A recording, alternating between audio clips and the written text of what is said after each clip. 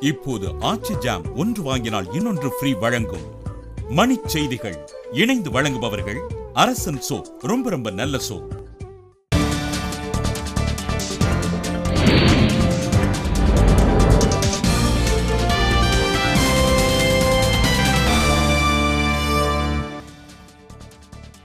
தனியார் மருத்துவக் கல்லூரிகளில் இடஒதுக்கீட்டை ரத்து செய்தது உத்தரப்பிரதேச பாஜக அரசு.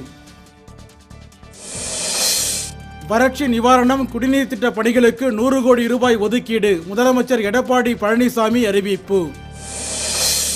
பாகிஸ்தானில் மரண தண்டனை விதிக்கப்பட்ட குல்பூஷன் ஜாதவ் எங்கிருக்கிறார் என்று தெரியவில்லை வெளியுறவுத்துறை அறிவிப்பு.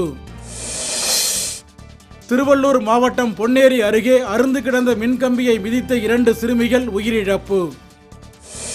பண மோசடி வழக்கில் இஸ்லாமிய மதபோதகர் ஜாகீர் நாயக்குக்கு எதிராக கைதானை பிறப்பிப்பு. மும்பை சிறப்பு நீதிமன்றம் அதிரடி. கொடைக்கானல் அருகே அஞ்சுவீடு பகுதியில் யானை தாக்கி குப்புசாமி என்ற முதியவர் உயிரிழப்பு. திருப்பூரில் ரசாயனம் மூலம் செயற்கை முறையில் பழுக்க வைக்கப்பட்ட நான்கு டன் மாம்பழங்கள் பறிமுதல்.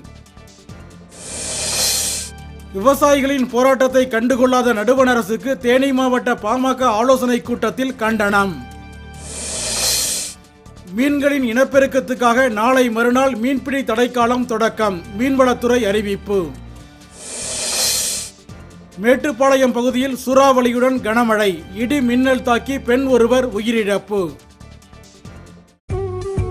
இப்போது ஆச்சி ஜாம் ஒன்று வாங்கினால் இன்னொன்று ஃப்ரீ வழங்கிய மணிச் செய்திகள். இணைந்து வழங்கியவர்கள் அரசன் சோப் ரொம்ப ரொம்ப நல்ல சோப்.